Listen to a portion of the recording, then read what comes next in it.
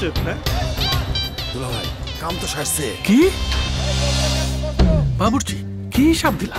খাবার শর্ট পড়ল কেন? আরে হিসাব ঠিকই দিছি। যে মশলা আনছেন মজার চোট একেবারে কবজি ডুবে খাইছে। বলো কি?